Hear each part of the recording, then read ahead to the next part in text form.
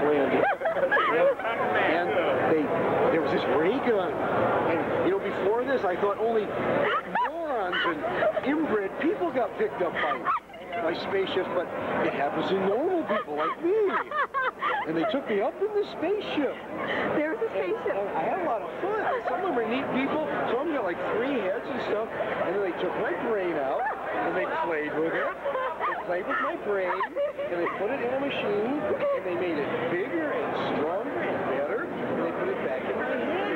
And they sent me back and they sent me back down and they like turned time back.